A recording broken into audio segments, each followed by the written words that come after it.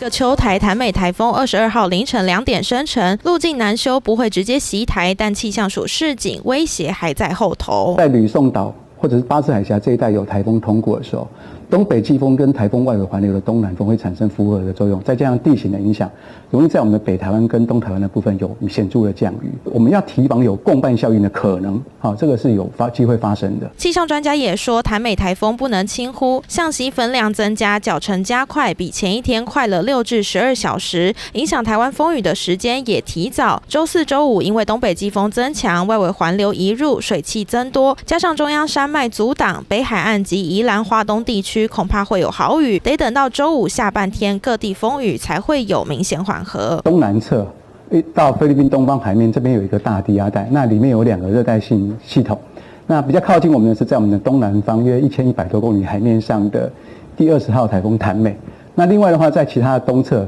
这个大地压在东侧呢，也有一些扰动在发展，也是未来要特别注意的。后方热扰动是否在城台还要观察，但北部和宜花东地区民众得先做好防台准备，留意致灾性强降雨。三新闻黄振杰、王佩华台报道。